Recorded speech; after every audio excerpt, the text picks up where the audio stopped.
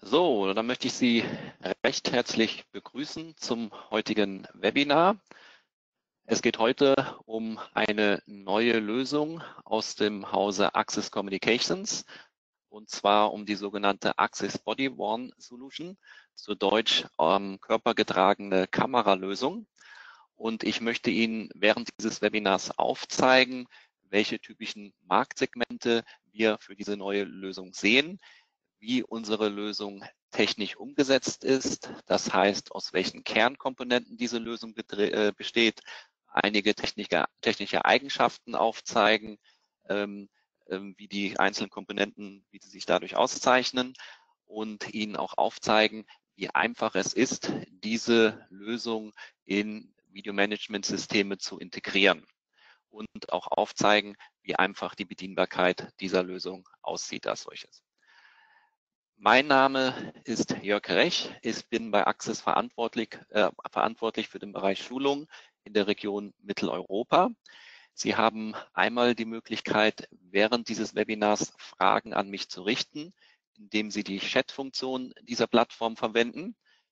Ich werde dann versuchen, am Ende dieses Webinars auf diese Fragen noch einzugehen. Des Weiteren haben Sie die Möglichkeit, Fragen im Nachhinein an mich zu richten indem Sie meine E-Mail-Adresse verwenden und diese Fragen schriftlich an mich senden. Dann äh, werden Sie morgen eine Follow-up-E-Mail erhalten, wo Sie unter anderem die Präsentation als PDF zugestellt bekommen und auch alle Fragen, die heute an mich gerichtet sind, werden, äh, sind dort nochmal schriftlich zusammengefasst als solches. Kommen wir zu unserer neuen Lösung, die wir jetzt herausgebracht haben. Unsere Kameralösung zeichnet sich dadurch aus, dass sie sehr einfach bedienbar ist. Des Weiteren auch in der Form zeichnet sich diese Lösung aus, dass sich diese sehr einfach in Videomanagementsysteme integrieren lässt. Das heißt, die Anbindung der Kameras sehr einfach umgesetzt werden kann. Damit Sie eine Idee haben, wie unsere Lösung als solches aussieht, habe ich zum Einstieg so ein kleines Video was im Endeffekt aufzeigt, wie, die, wie diese Lösung als solches umgesetzt ist.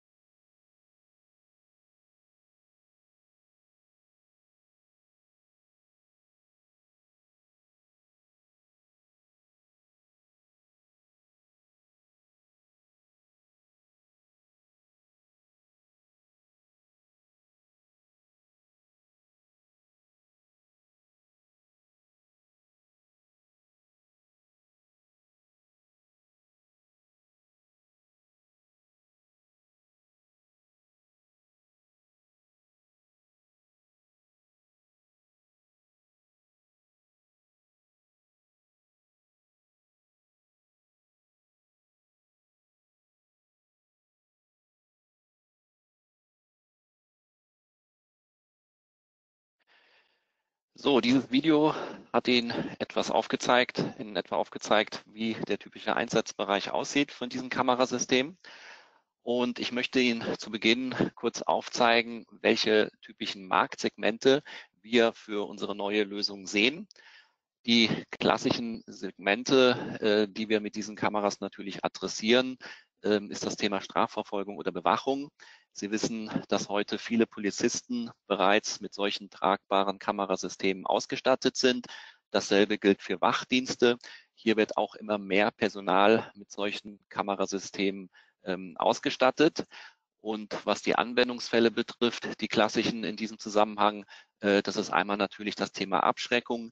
Man hat ganz klar gesehen, wenn beispielsweise Polizeibeamte solche Kamerasysteme tragen, dass das im Endeffekt dazu führt, dass mögliche Straftäter sich weniger aggressiv gegenüber äh, den Beamten verhalten.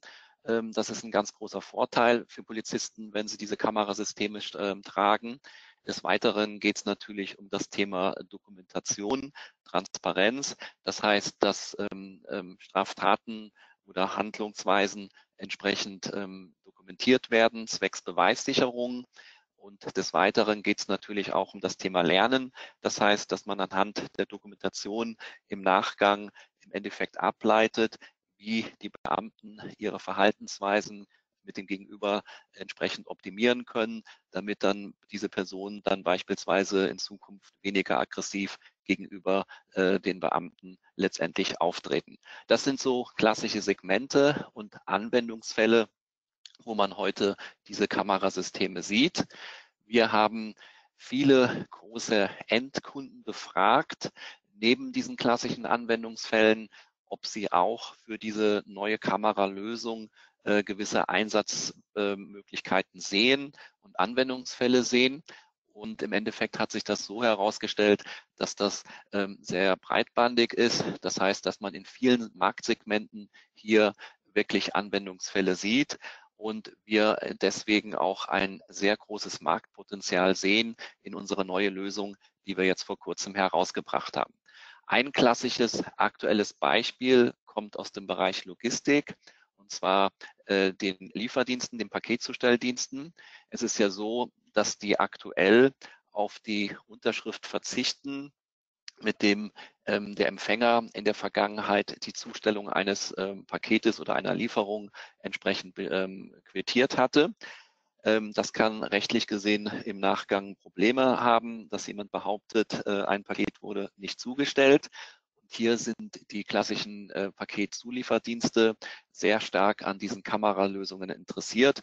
Das heißt, dass die zukünftig ähm, die Zusteller, Zustellerinnen mit solchen Kameras ausstatten und dass dann über die Videoaufzeichnung wiederum äh, entsprechend dokumentiert wird, dass tatsächlich eine Lieferung zugestellt worden ist. Das ist so ein klassisches Beispiel, was auch sehr aktuell ist und wo man sieht, dass neben dem klassischen Bereich der Strafverfolgung und Bewachung man auch für diese Kameralösungen ähm, hier äh, ein großes Einsatzgebiet sieht an dieser Stelle. Kommen wir auf unsere Lösung zu sprechen, aus welchen Kernkomponenten sich diese Lösung letztendlich zusammensetzt und auch auf ein paar technische Eigenschaften, ähm, wo, ähm, die im Endeffekt, ähm, wo sich diese Lösung auszeichnet, ähm, innerhalb dieser einzelnen Komponenten. Auch hier zu Beginn ein kleines Video zum Start, was eine sehr gute Übersicht liefert,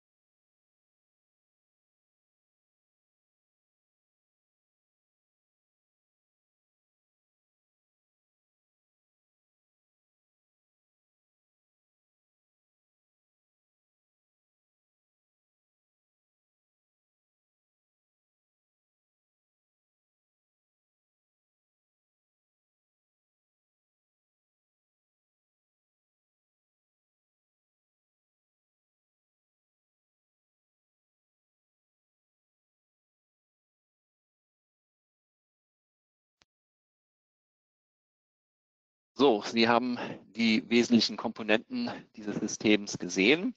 Und ich möchte jetzt im Detail auf die einzelnen Komponenten nochmals eingehen. Ähm, wichtige Komponenten dieses Gesamtsystems ist der System Controller. Der System Controller ist im Endeffekt das Bindeglied zwischen den Kameras und ähm, der Zielstation, wo die Beweisvideos hin übertragen werden sollen.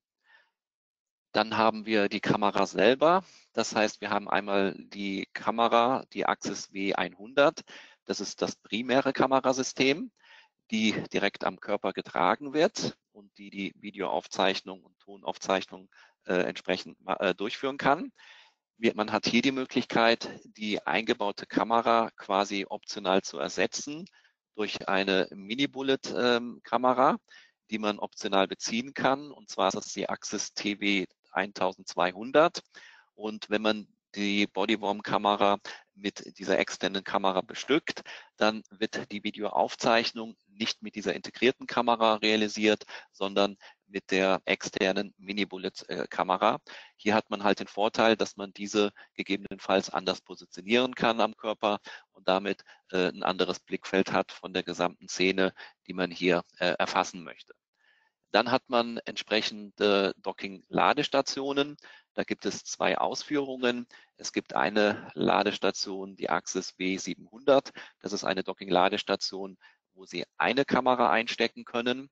Dann haben wir noch ähm, die Axis W701. Das ist eine achtfach Docking-Ladestation, wo Sie dann die Möglichkeit haben, bis zu äh, acht Kameras dort einzustecken für die Ladung der Batterie und natürlich auch für die Datenübertragung zum Systemcontroller.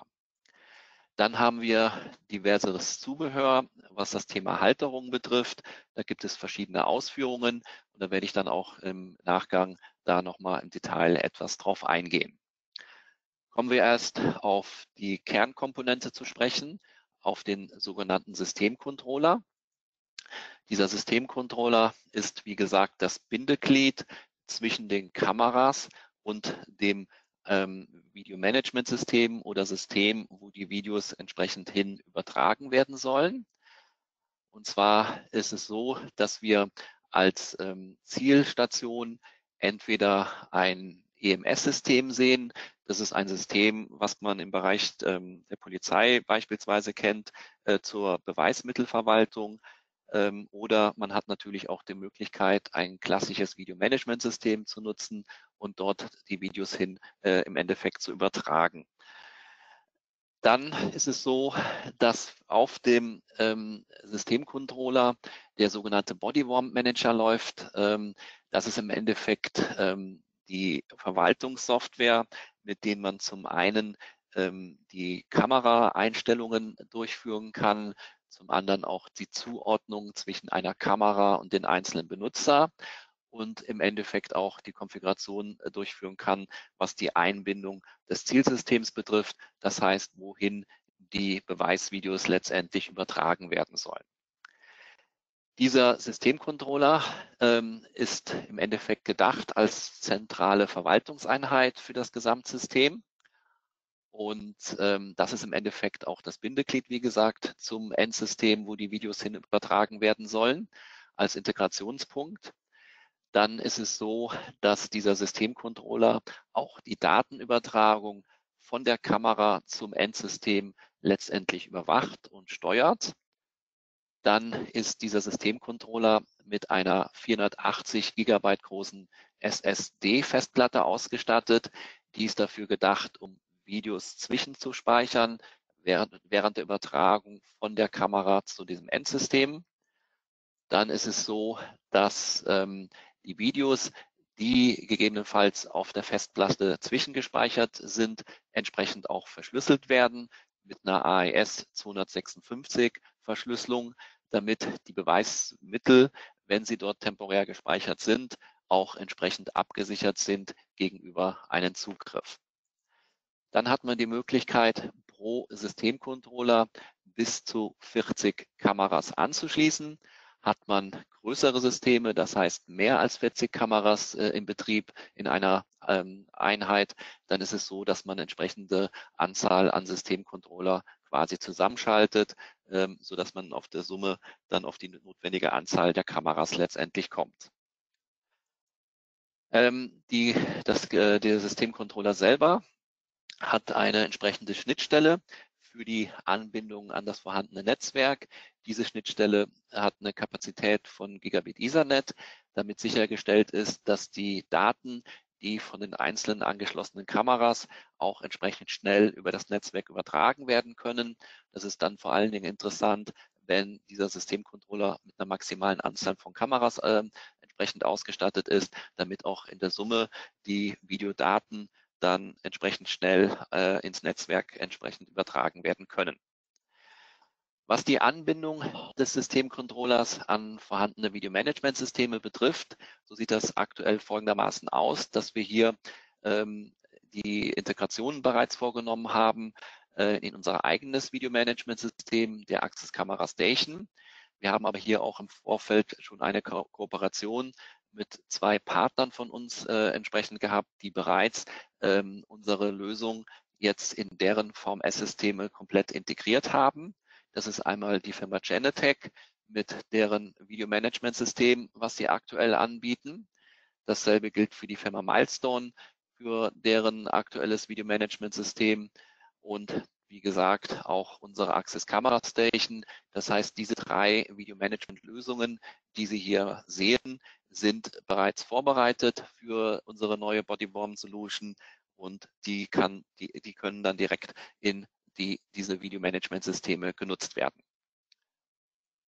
Was die Kamera selber betrifft, so sieht das folgendermaßen aus. Wir haben einmal die ähm, Basiseinheit als Kamera.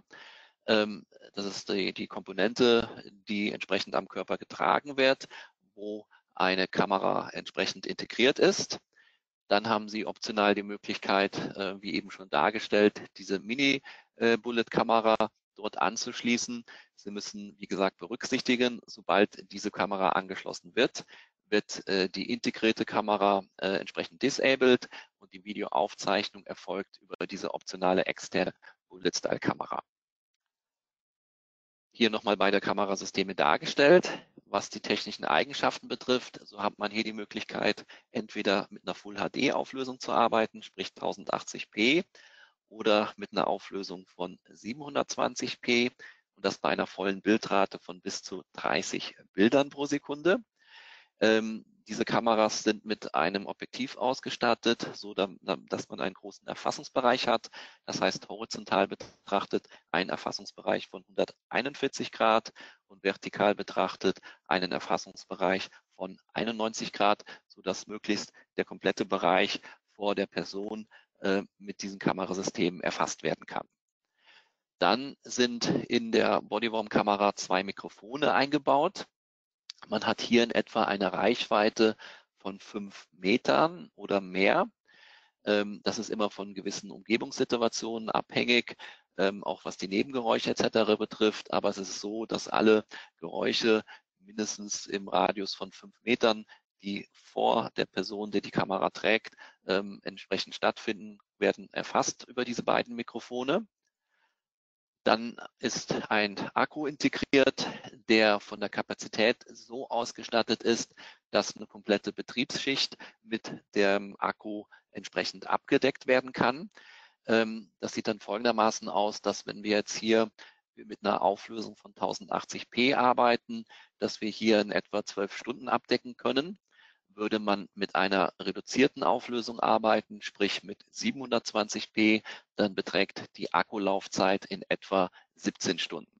Das Ganze ist natürlich von den Ladezyklen abhängig, aber das sind so äh, typische Betriebslaufzeiten, die man über den eingebauten Akku letztendlich erwarten kann.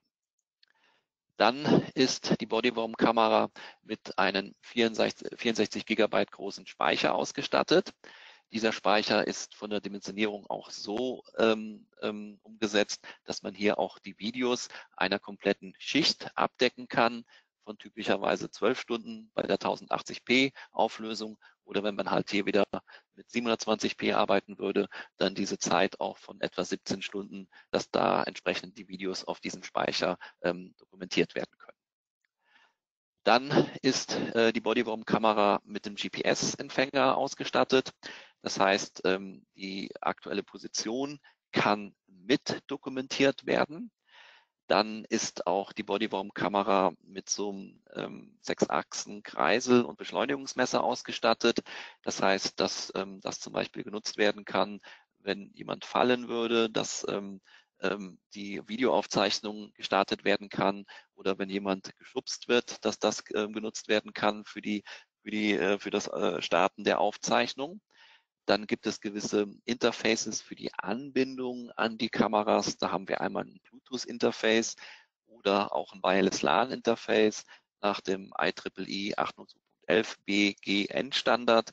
Und diese beiden Interfaces dienen dafür, um einmal gewisse Peripherien anschließen zu können an das Bodyworm-Kamerasystem, aber auch ähm, für die Anbindung an einem, einen, einen mobilen Device, wie beispielsweise ein, ein Smartphone. Und für diese typischen mobilen Devices und für die gängigen Betriebssysteme gibt es eine entsprechende App, wo man dann später die Möglichkeit hat, sich Aufzeichnungen anzusehen, ähm, die ähm, ähm, äh, entsprechend realisiert worden sind auf der Bodyworm-Kamera. Und man hat hier auch die Möglichkeit, entsprechende Informationen hinzuzufügen als Notizen, die dann genutzt werden können für die Dokumentation des Sachverhalts. Das ist, dann sind die typischen Aufgaben, die Sie mit einer entsprechenden App entsprechend umsetzen können. Wenn Sie ähm, die externe Kamera optional hinzufügen und darüber die Videoaufzeichnung läuft, dann ist das ähm, von, der Grund, äh, von den Grundeigenschaften dieselben Eigenschaften. Das Einzige, was man berücksichtigen muss, ist die Akkubetriebszeit. Die reduziert sich durch diese zusätzliche Kamera etwas. Das ist die einzige Einschränkung, die man hat, falls man diese externe Kamera verwenden würde. Dann, was die Merkmale der Kamera betrifft, die weiteren technischen Merkmale. Die Kamera hat natürlich WDR-Eigenschaften, um mit komplexen Lichtsituationen zurechtzukommen, vornehmlich mit ähm, gewissen Gegenlichtsituationen, die immer wieder auftreten können. Dann haben wir die sogenannte ZIP-Stream-Technologie. Das ist ja eine Technologie, die bei Access bekannt ist. Ähm, da geht es darum, dass man Bitraten eines Videostreams sinnvoll reduzieren kann unter forensischen Aspekten. Wir haben ZIP-Stream ähm, explizit angepasst für die Anwendung in unseren Bodyworm-Kameras. Und ZipStream ist bei uns per Default immer aktiv. Das können Sie auch äh, in der Form nicht deaktivieren. Den Vorteil, den Sie durch die Nutzung von ZipStream haben, ist die Tatsache, dass wir die Bitrate äh, um im Durchschnitt 10 Prozent reduzieren konnten und das dann auch dazu beiträgt, dass auf diesen 64 Gigabyte Speicher, den wir da in der Kamera integriert haben, äh, im Endeffekt diese lange Videoaufzeichnung äh, vollzogen werden kann. Das heißt, dass die komplette Schichtdauer ähm, entsprechend dokumentiert werden kann. Und das Ganze halt auf der einen Seite als Vorteil, ohne dass Sie in der Videoqualität irgendwelche Kompromisse letztendlich eingehen müssen. Dann haben wir einen sogenannten Pre-Recording-Puffer, den man nutzen kann. Den kann man entsprechend aktivieren und konfigurieren in der Größenordnung von 0 bis 90 Sekunden. Das heißt, wenn so eine Aufzeichnung gestartet wird, beispielsweise über den Haupttaster an der Kamera, dann würde auf diesen Pre-Buffer zurückgegriffen werden und man hätte dann alles dokumentiert, was vor diesem Trigger im Endeffekt im, äh, im, im Bereich der Kamera passiert ist, äh, was sinnvoll sein kann, dann als Beweissicherung, dass man diese Informationen zusätzlich zur Verfügung hat. Dann hat man ähm, ein gewisses Interface für den Bediener. Das heißt, zum einen kann man das so aktivieren, dass man hier gewisse Informationen über Vibrationen geliefert bekommt von der Bodyworm-Kamera oder auch über Piepsgeräusche von der Kamera. Des Weiteren gibt es dann LEDs, ähm, die einen gewissen Status anzeigen, zum Beispiel das Recording und so weiter. Man hat natürlich hier die Möglichkeit, alle diese Indikatoren zu deaktivieren, so dass man hier ähm, komplett, ähm, ohne dass jemand äh, mitbekommt, dass wirklich eine Aufzeichnung läuft, das Ganze so gestalten kann. Äh, das ist immer eine Frage der Anwendung, wie man das entsprechend vorzieht und wie das rechtlich getrachtet ist. Ähm, aber hier gibt es die Möglichkeit, das entsprechend unterschiedlich im System zu konfigurieren und entsprechend anzupassen. Dann ähm, haben wir natürlich darauf geachtet, dass die Kamera ähm, sehr robust ist gegenüber äußeren Einwirkungen. Wir haben einmal hier, was das Thema Feuchtigkeits- und Wasserschutz betrifft, die IP67-Klasse. Das heißt im Klartext, dass die Kamera ähm, eine gewisse Zeit sogar bis in ein Meter Wassertiefe eingetaucht werden kann. Dann haben wir auch ähm, sehr viel im Thema Robustheit, was nach äh, Müllspezifikationen entsprechend verifiziert worden ist. Und ähm, da gibt es diesen Müllstandard ähm, 810H. Da werden gewisse Tests gemacht, was Schlagfestigkeit betrifft. Da werden Falltests gemacht. Das heißt, dass die Kamera aus einer gewissen Höhe ähm, x-mal fallen gelassen wird und es wird geschaut, dass die Kamera noch 100% betriebsfähig ist. Hier werden ähm, Einwirkungen in Form von Temperatur getestet, Kratzfestigkeit am Gehäuse. Das sind alles super Beispiele. Auf jeden Fall haben wir natürlich bei der Entwicklung dieser Kamera darauf geachtet, dass diese Kamera sehr robust ist, was für so eine Kamera natürlich notwendig ist für das tägliche Handling, äh, dass hier keine Beschädigungen hervorgerufen werden können. Dann haben wir, ähm, wie gesagt, unterschiedliche Halterungen, die im Zusammenhang mit äh, der Kamera genutzt werden können. Und was ähm, das Einklicken, was das äh, Einstecken dieser Kamera in Halterung betrifft, da gibt es ein sogenanntes Click-Fast-System, das was die ähm, was das Anbringen der Kamera an gewisse Halterungen sehr einfach ermöglicht. Das haben wir natürlich hier auch umgesetzt. Und ähm, was ebenfalls ähm, äh, was die Mini-Bullet-Kamera betrifft, wenn man die verwenden möchte, gibt es, hier, gibt es hier ebenfalls entsprechende Haltersysteme für die Kamera selber. Und es gibt auch nochmal ein Sicherungssystem, was den Stecker sichert, dass dieser sich nicht einfach herausziehen lässt ähm, aus dem Kamerasystem als solches, wenn, was die Anbindung an die Kamera betrifft. Die Kamera selber ähm, ist einfach zu bedienen. Was Sie hier sehen, ist im Endeffekt die Möglichkeit der Bedienung. Äh, Im Endeffekt ähm, erfolgt die Bedienung über bis zu vier Tasten, ähm, mit der die Kamera zum einen ein- und ausgeschaltet werden kann. Sie sehen vorne unter Punkt 7 den Haupttaster. Der wird primär genutzt, ähm, wenn es darum geht, um Aufzeichnungen zu starten, weil der natürlich sehr einfach zugänglich ist für, den, äh, für denjenigen, der die Kamera trägt. Dann haben wir oben das Display, was wir sehen. Über dieses Display bekommen wir Statusinformationen angezeigt, wie beispielsweise Batterielaufzeit, was den Speicher betrifft und solche Geschichten. Dann haben wir vorne die Kamera selber. Und Sie sehen neben der Kamera äh, unter Punkt 2 auch nochmal so eine LED, ähm, die genutzt werden kann, um darzustellen, dass aktuell eine entsprechende Aufzeichnung läuft.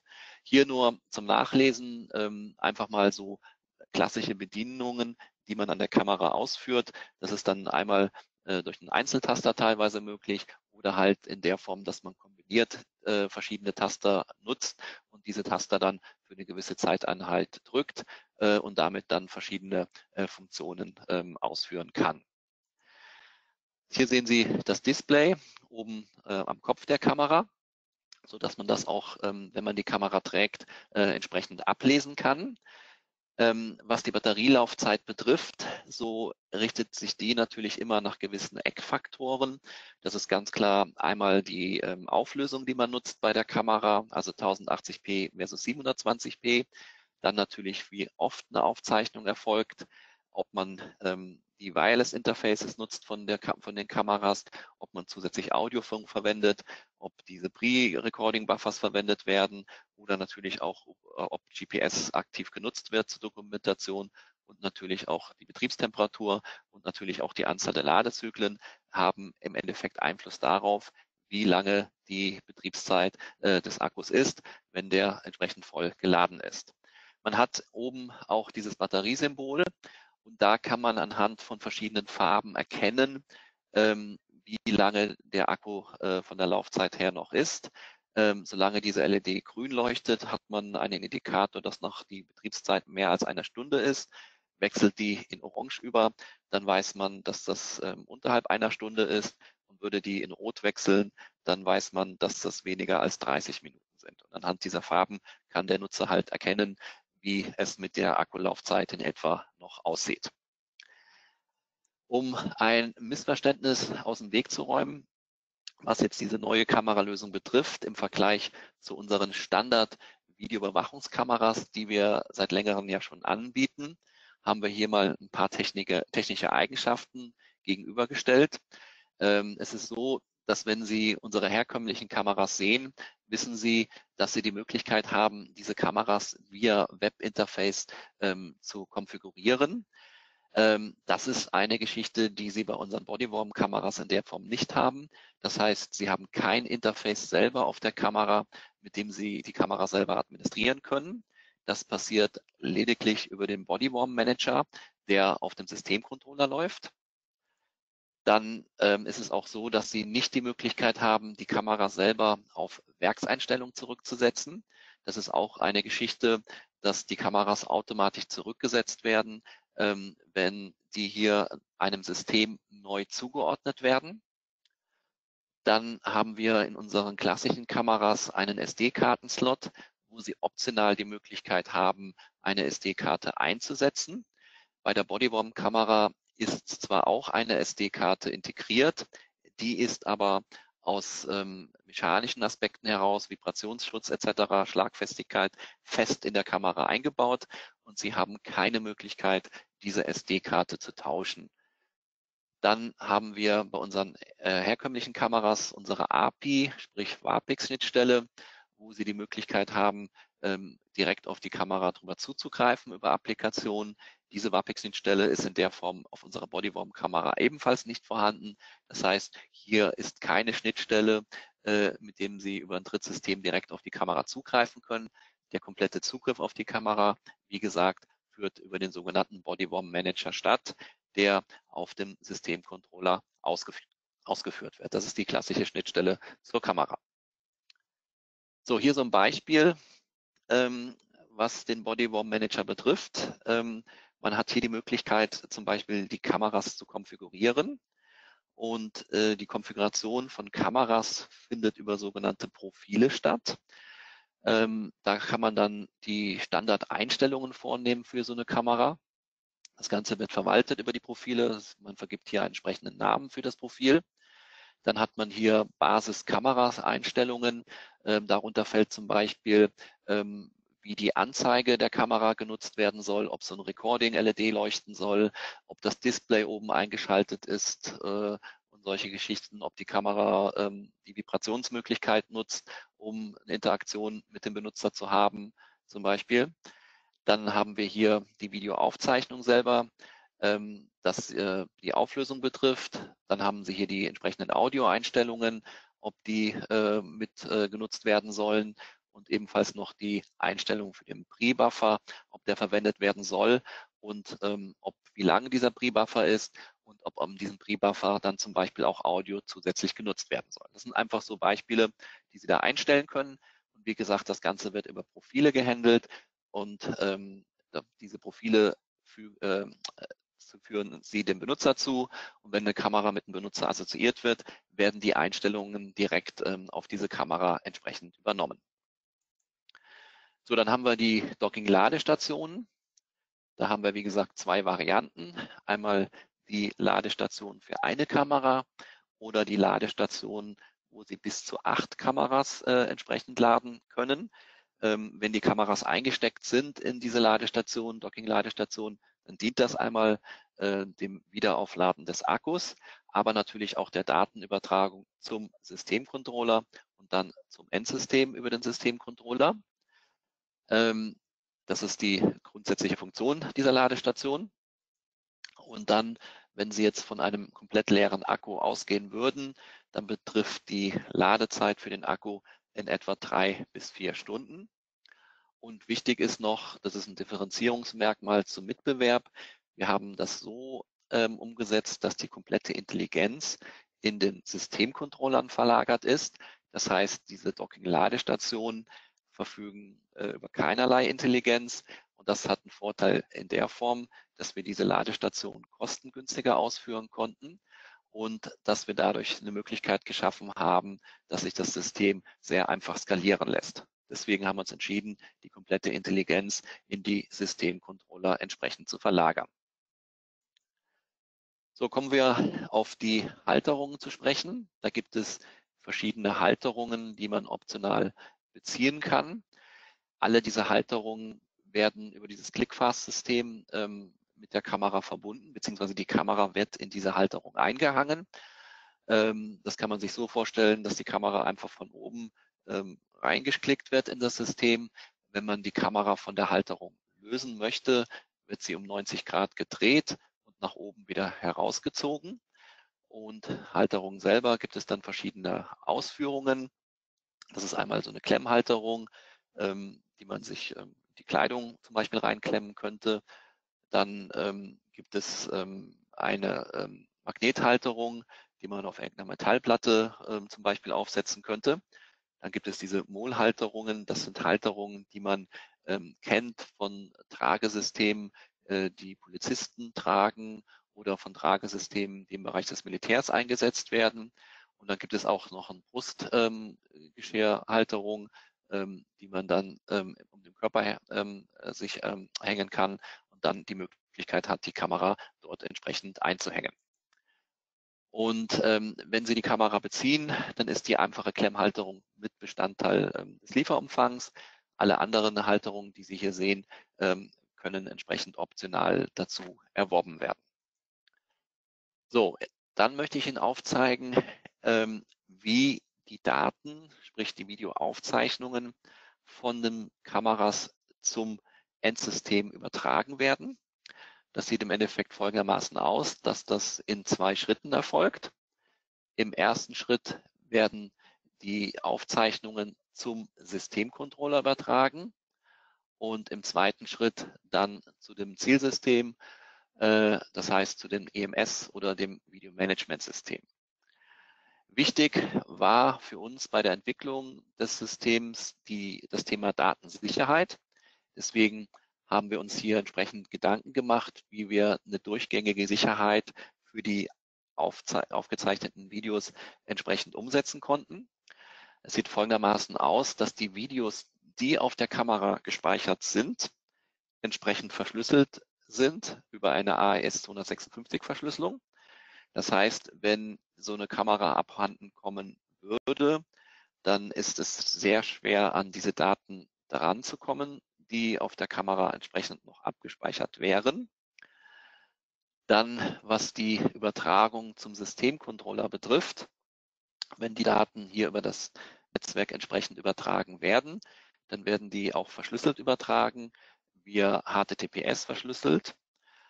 Dann die Zwischenspeicherung auf dem Systemcontroller erfolgt dann auch wieder mithilfe einer AES 256 Verschlüsselung, damit auch hier falls so ein System in irgendeiner Form mal abhanden kommen sollte, ähm, entsprechend hier die Daten auch nicht einfach zugänglich sind. Der Systemcontroller selber verfügt auch über ein TPM-Modul, über dem ähm, der Zugriff auf den Systemcontroller abgesichert wird.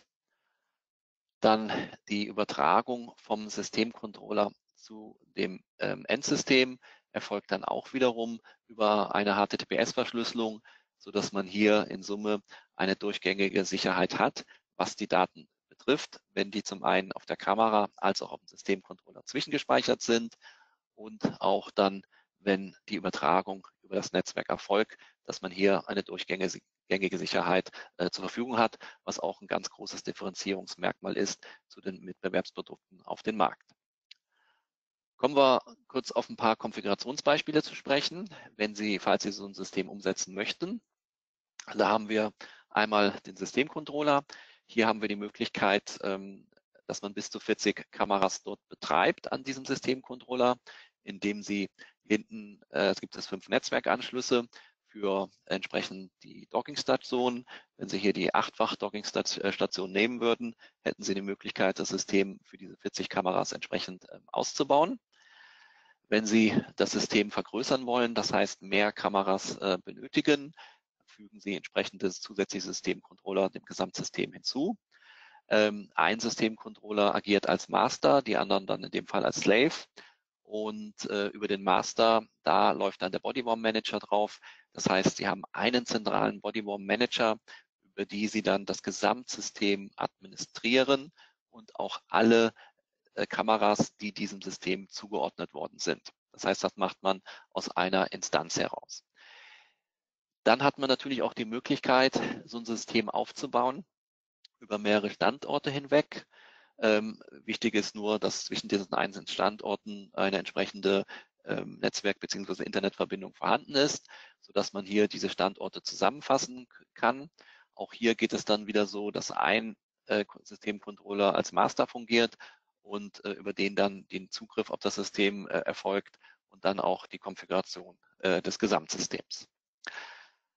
Dann möchte ich Ihnen kurz noch aufzeigen, wie einfach im Endeffekt diese ähm, Anbindung ähm, des Systems aussehen kann.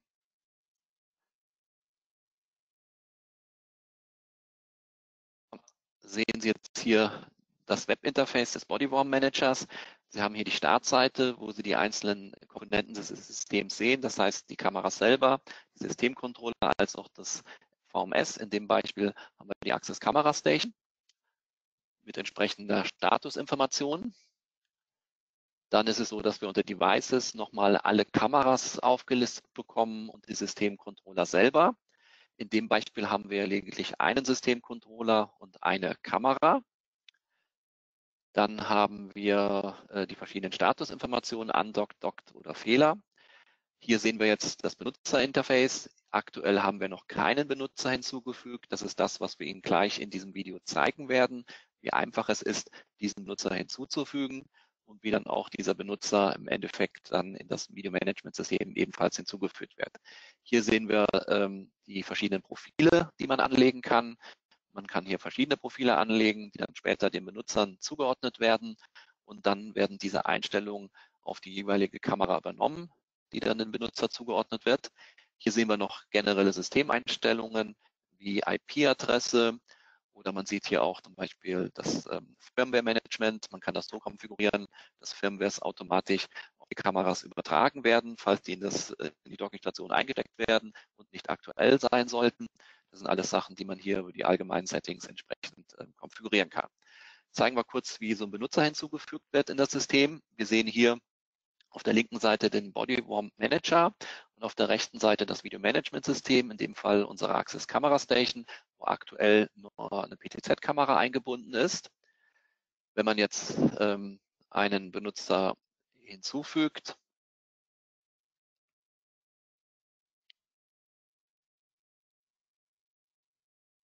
Dann sagt man Add User, vergibt den Benutzer einen Namen, wählt ein entsprechendes Profil aus, was man vorher angelegt hat, was dann diesem Benutzer zugeordnet wird. Und dann sagt man Übernehmen. Und dann erscheint dieser Benutzer einmal in den Bodyworm Manager und Sie haben gesehen, zeitgleich auch in der Access Camera Station quasi als Kamera. Das heißt, über die Anbindung, die aktiv ist zwischen dem Systemcontroller und dem VMS, wurde dieser Benutzer automatisch in das VMS hinzugefügt. Dann muss man ähm, eine Kamera einem Benutzer zuordnen. Das heißt, man wählt ein entsprechendes Device aus und einen entsprechenden Benutzer macht im Endeffekt die Zuordnung und dann ist die Kamera im Endeffekt einsatzbereit. Der Benutzer kann die Kamera aus dem aus der Ladestation herausnehmen und bei Bedarf entsprechende Videoaufzeichnung dann äh, entsprechend ähm, ausführen. Wenn Aufzeichnungen erfolgt sind und die Kamera direkt äh, in die Dockingstation wieder eingesteckt wird, dann wird automatisch die Datenübertragung initiiert. Das heißt, von der Kamera zu dem Systemcontroller. Und sobald diese Datenübertragung erfolgt ist, kann man das Video im Player des Videomanagement-Systems äh, entsprechend abspielen. Ja, das ist die Übertragungsdauer selber zwischen der Kamera und im Endeffekt des Endsystems richtet sich natürlich immer äh, anhand der Größe des Videos. Ähm, und äh, das geht aber in Summe relativ schnell bedingt dadurch, dass wir die hohe Netzwerkkapazität haben zum äh, Systemcontroller zum Netzwerkinterface. Und da haben Sie einfach mal gesehen, wie einfach die Übertragung aussieht und wie einfach die Anbindung an das System äh, im Endeffekt realisiert werden kann.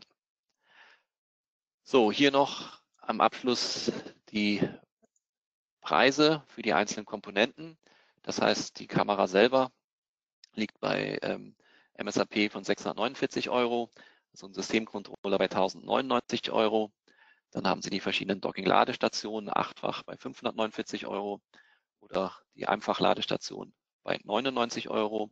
Und diese Mini-Bullet-Kamera, die man optional an, das, an die Kamera anstecken kann, die liegt bei MSAP von 199 Euro. Wie eben schon gesagt, haben wir das ähm, Produkt gelauncht letzte Woche am 15. Juli. Die sind mittlerweile auch äh, bei Video verfügbar, liegen entsprechend auf Lager und können bestellt werden. Wir haben unsere Access Experience Center, ähm, zum Beispiel bei uns in Ismaning bei München im Office, wo diese Kameras auch installiert sind mittlerweile, wo Sie die Möglichkeit haben, diese live zu betrachten. Ähm, wenn Sie auch ähm, Interesse an, an Live-Vorführungen vor Ort haben, können Sie unseren Sales entsprechend kontaktieren. Dann kann man sowas sicherlich organisieren.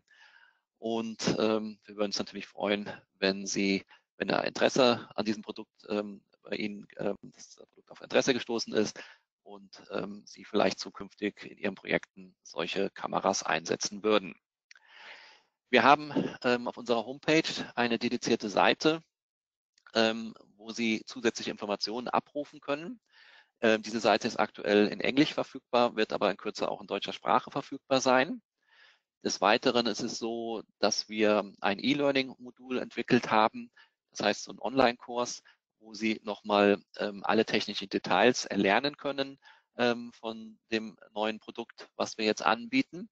Und das sind im Endeffekt die zusätzlichen Informationsquellen, die wir da zur Verfügung stellen als solches. Und ähm, das war es dann auch soweit ähm, mit meiner Präsentation. Und dann schaue ich kurz noch, ob ich ein paar Fragen sehe. Nein, ich sehe jetzt ad hoc keine Fragen. Dann gehe ich davon aus, dass Sie alle glücklich sind. Und ähm, bedanke mich in dem Fall für die Teilnahme an dieses Webinar. Ich hoffe, Sie konnten was mitnehmen. Wenn Sie Fragen haben, wie gesagt, können Sie diese im Nachgang an mich richten. Und ähm, ich wünsche Ihnen dann noch einen schönen Tag und bleiben Sie gesund und vielleicht hören wir uns in naher Zukunft beim weiteren Webinar wieder. Vielen Dank für Ihre Aufmerksamkeit.